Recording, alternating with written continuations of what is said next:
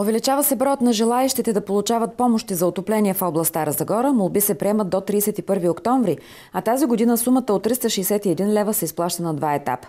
Две кампании за социални плащания пълнят чакалнята на социално подпомагане в момента, подаването на молби за помощи за отопление на еднократна помощ за първокласник. В момента кампанията, която тече, ако можем така да го наречем, това е отоплителния сезон. Крайният срок за подаване на декларации, молби декларации за получаване на отпускане и получаване на целева помощ за отоплителен сезон 2015-2016 година е 31 октомври 2015 година.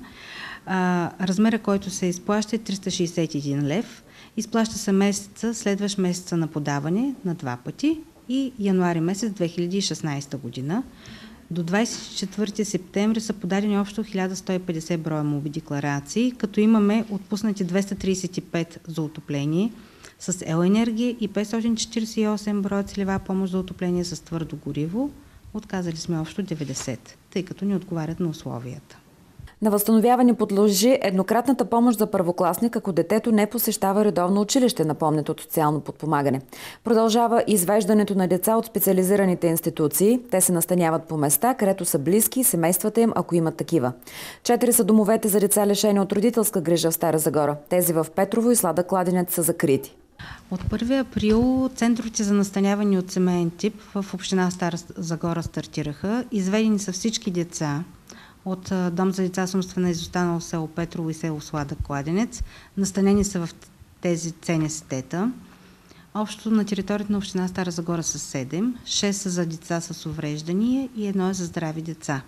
Като имаме изведени деца и от домовете за деца лишени от родителска грижа. Два, двата дома са затворени.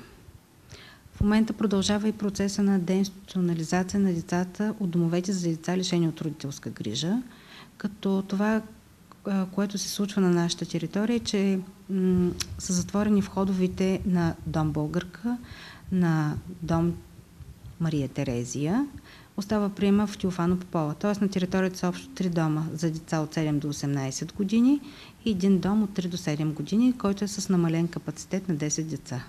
В дом Мария Терезия и българка не се настаняват деца, а дом Незабравка е с намален капацитет. Целта е подобни институции да бъдат окончателно затворени.